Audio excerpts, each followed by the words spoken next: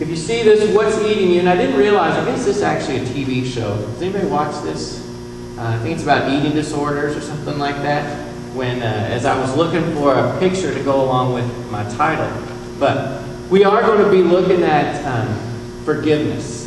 Uh, and put that on the front of the, the bulletin. But I want to tell a story, first of all, it's a little, little bit over 100 years ago, probably before any of us were around. But uh, Thomas Edison had worked, was designing the light bulb. And they had worked and worked and worked, and they finally got it to where they had perfected it. And it took a group of people 24 hours, and they worked 24 hours to actually construct this light bulb.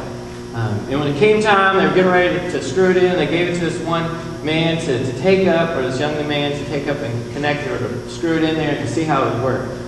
I was so nervous that he was going to drop it, and that's exactly what he did. He dropped it and broke. So the group had to go back, and they spent another 24 hours to, to make this light bulb together and to, um, to try it again.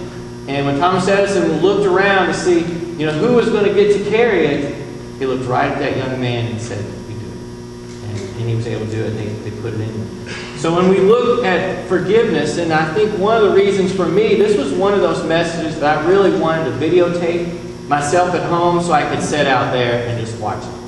Because I know for me, this is so hard to do sometimes. And when I had originally left to go to Boston, I wasn't preaching on this. I had something totally different, and I got it out, and I was starting to study on the, the plane. And this guy beside me, he started talking to me. And uh, he was actually a school board member from uh, Idaho who actually works with FCA and, and, things like that. So I just put everything aside and I got back into the room and it just wasn't coming together. So here's where we're at. If you have your Bibles, if you want to open up to 2 Corinthians chapter 2, verses 5 through 11, we're going to look at these six verses in here and when Paul writes, writes to the church. And if you, uh, I know Steve a lot of times will throw out questions to make you think. I'm going to throw out a little statistic to let you to think about as far as Corinthians. And this is one of five letters that Paul actually wrote to the Corinthians. And if you read chapter 1st and 2nd Corinthians 1, there was a letter that he wrote actually before 1 Corinthians. We only have 1 Corinthians, but he talks about this other letter in 1 Corinthians. So you got the one before, you got 1 Corinthians, and then you got one in between 1st and 2nd Corinthians that we don't know anything about, this other lost letter. And then most people agree, or most people think that 2nd Corinthians is actually two letters that was just combined into one. Because chapters 1 through 9 is kind of gentle in nature, and, and you know, and then 10 through 13 is totally different. So, um, little history buff, there may have been as many as five different letters to the Corinthian church, but we only know about two of them, and we're only going to look at six verses today. So, 2 Corinthians chapter 2, we're going to look at verses 5 through, through 11. Starting out in verse 5, it says, If anyone has caused grief, he has not so much grieved me as he has grieved all of you.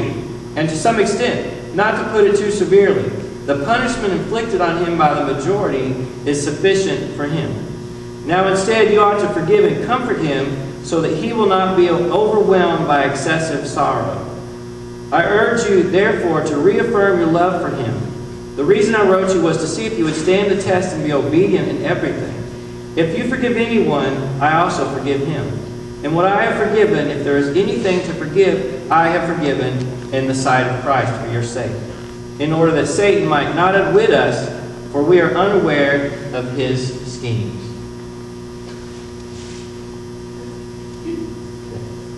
Let's pray.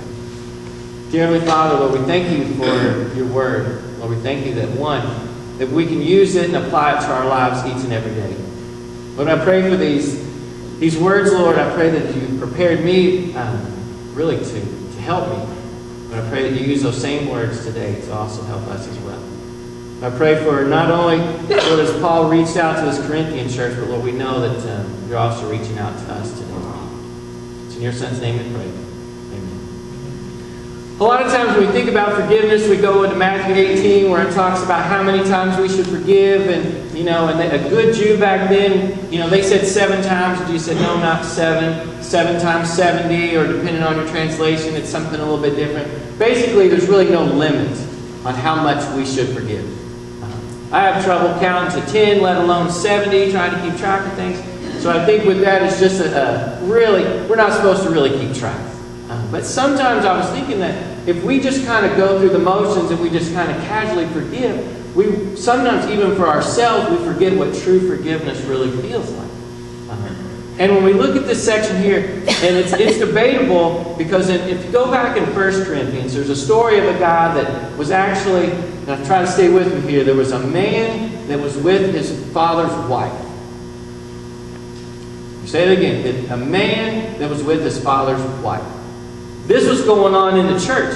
And Paul talked to him and said, You got to get rid of that guy. You got to, you got to point out that sin, and you, they actually kicked this guy out of church. And some of us Wow. But sometimes when we think about discipline, we, I know I talked about that a couple weeks ago, about how hard discipline is. And that's what, what make, this passage may be in re reference to as far as cause you grief.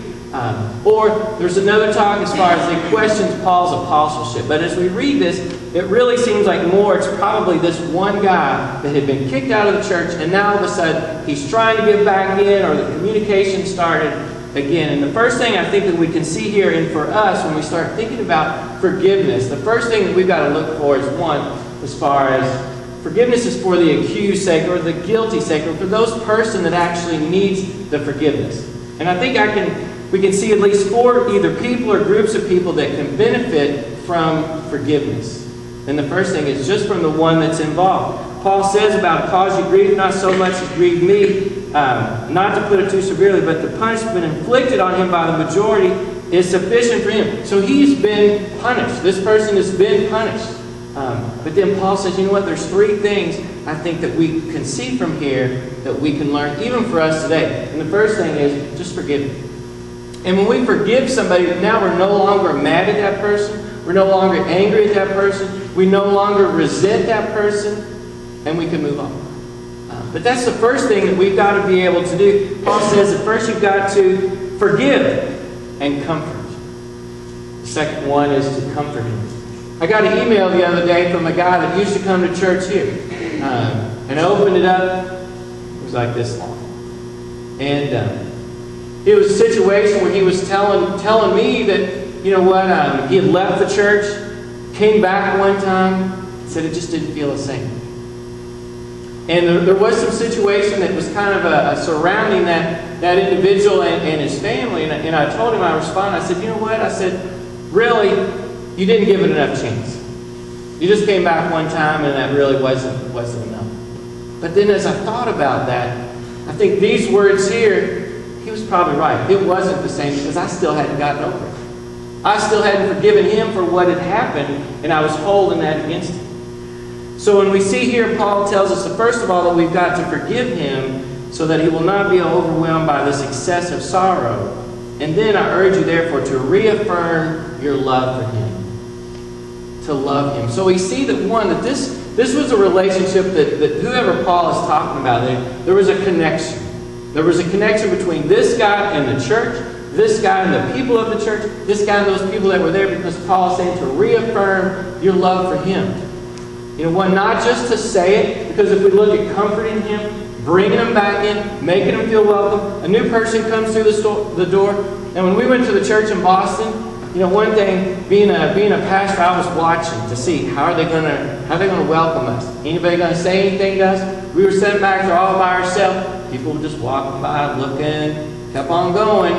And I thought, all right, this is how it's going to be. But then they had a say hey time. I could see Brian up there telling everybody, welcome your, welcome your neighbors.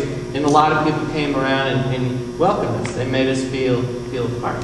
Shouldn't have had to do it just at say hey time. Would have been nice to, to come in the beginning. But when we start thinking as far as how, um, how to comfort some, comfort someone is to welcome them and to reaffirm our love for them to be there.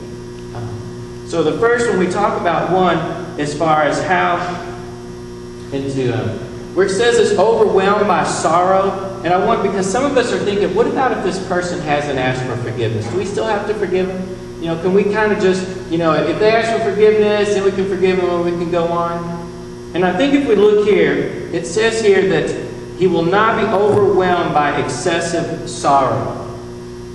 I think what this is a picture of one, this guy has asked for forgiveness from the church. He has come back. He has tried to be welcome in because the word lupe, I guess, means grief, sorrow, pain of mind, or spirit affliction. And we know that when we have hurt somebody, we feel it.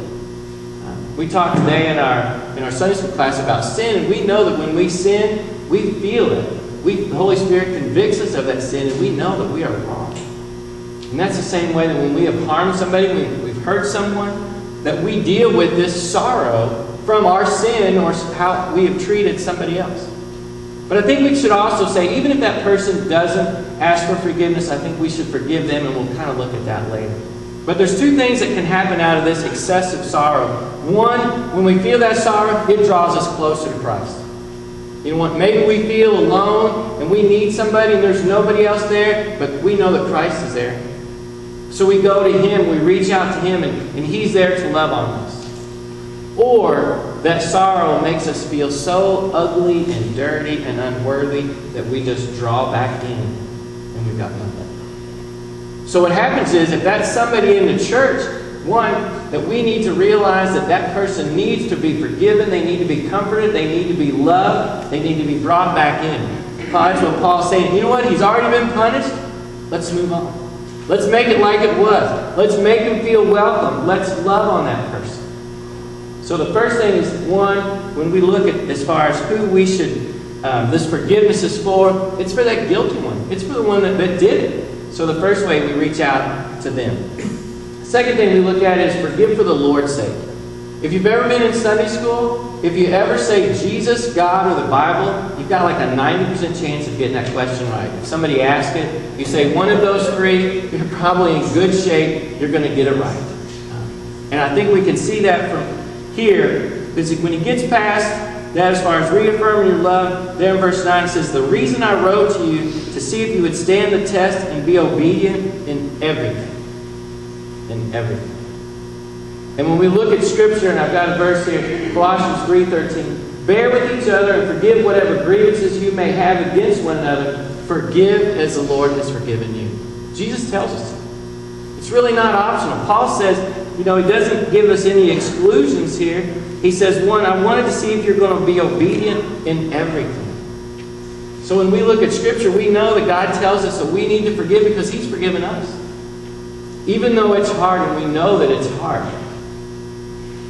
We need to forgive for the, the Lord's sake.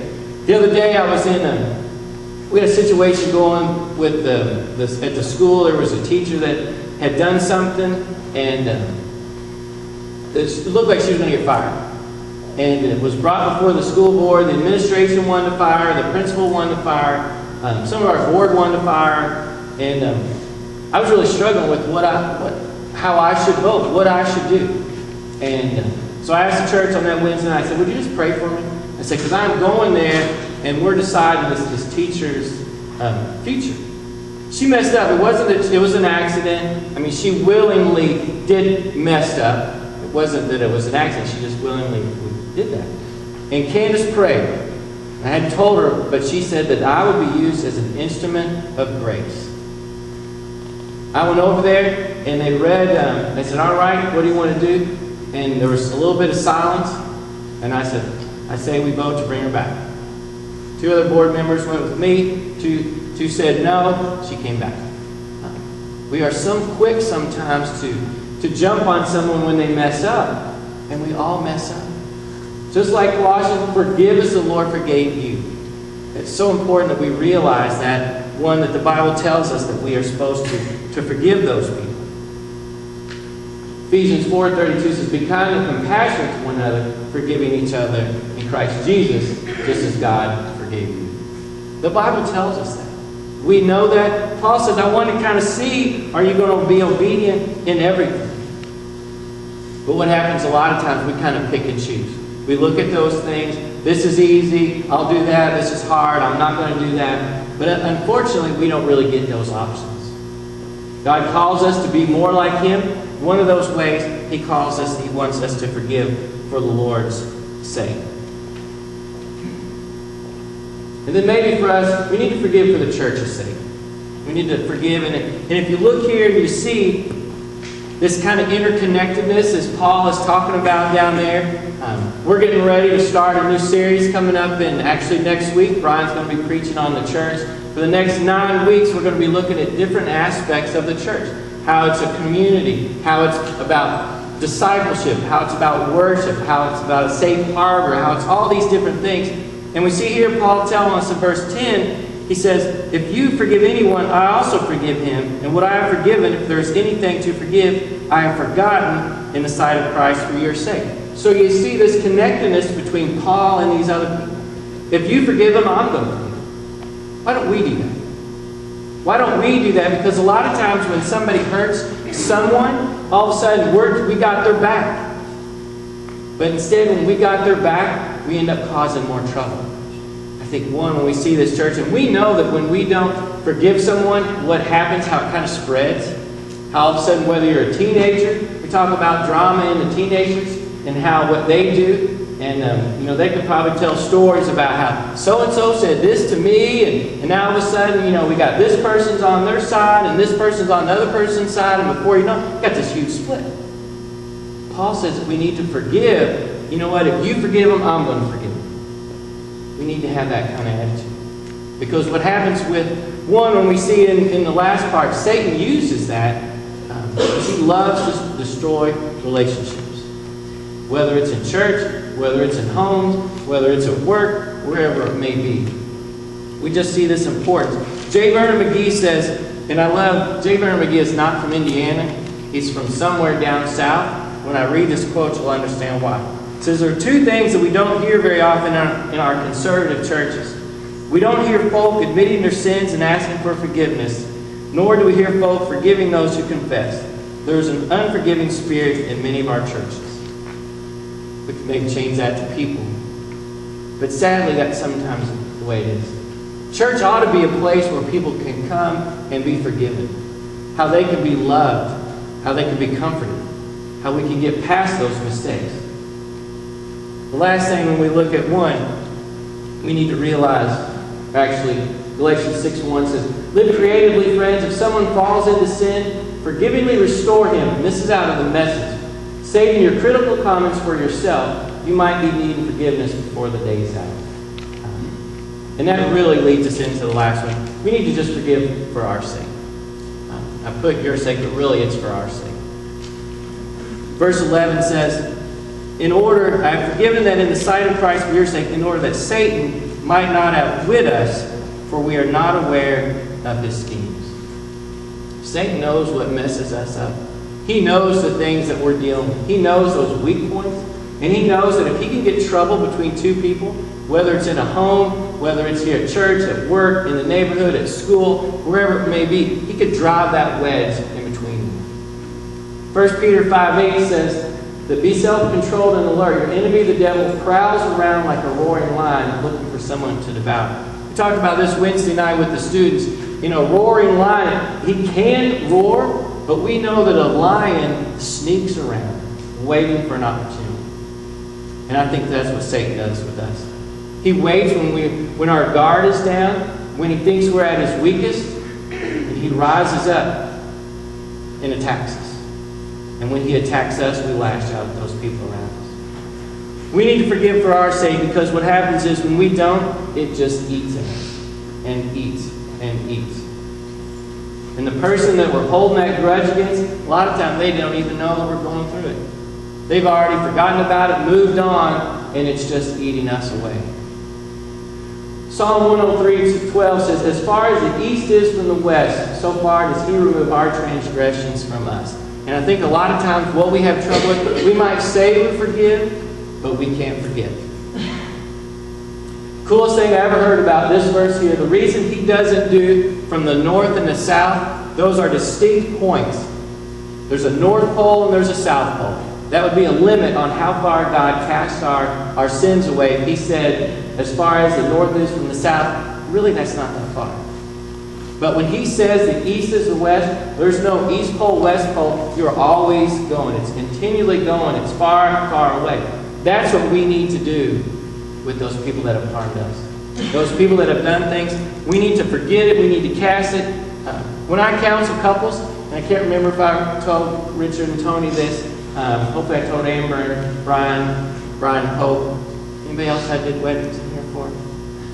Anyway, when I sit down, I tell them not to get historical. And we talk about how to, how to deal with conflict, how to move through things. And I always want to say hysterical, but it's not to get historical. And the thing about it is, it means not to bring up things in the past. You know, that's why they're in the past. But when we bring those things up, it never makes things better. It just makes things worse. And that's the same thing that we ought to do with the people, or the, not the people, the things that those people have done, leave those in the past, cast it, cast it away. Because when we don't, it's there just as a constant reminder. So I'm going to leave you guys with question. One, who do you need to forgive? Maybe it's somebody here at church. Maybe it's somebody that um, said something to you, or, or maybe you said something to somebody. Maybe it's somebody at home. Maybe it's somebody at school. Maybe it's somebody at work. You fill in the blank. But what I want you to do, because when we come here, one of the things we want to focus on is how can you apply this to your life? I wouldn't care if somebody right now got up, took their cell phone out, went out the hallway and called somebody. Instead of waiting, because what happens a lot of times, we say, you know what, I'll wait till I get time later on. That time never comes. Week goes by, weeks go by, month, months go by, sometimes a year, and you're still, still dealing with that. Why not fix it now? Why not do whatever you need to do to tell that person to put it in the past and move forward? Because I think that's what God's calling us to do. To get rid of it because, one, that's what He tells us to do. And we know for us that God has forgiven us. He doesn't have limits on what He forgives us for. Thankfully. Why don't we do that for those other people?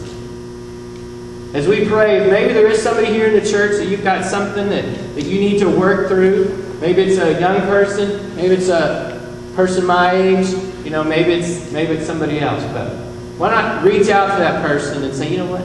Let's move on. Let's put this aside. Because if we don't, it's just going to get worse. Maybe it's a husband and wife. Maybe you guys had a fight on the way in today. I know how it used to be until Ann and I started driving separate. Sometimes tension would rise. We would... oh, I get here a lot earlier than Ann does anyway, but that made it easier. I just go when I'm ready. But I know when you're rushing, you know, sometimes we say things that we, we don't mean. It comes out ugly. Uh, maybe you had one of those today. You need to fix it. Or, you know what, maybe you're mad at God. Because as I was thinking about this, a friend of mine came to mind that his father passed away when he was about 10 years old. This guy is probably 42 years old now. Still blames God to this day. Because he prayed, save my dad, don't let him die. And he died. And until this day, he still holds that against him. There are times, even though it's not easy, there's times when we just got to let it go. We've got to trust that God, one, in that case, that, He has those reasons and we have to trust Him. But one, there is so much more out there that if we focus on this past, whether it's a mistake or something like that, that somebody did to us, or sometimes it's not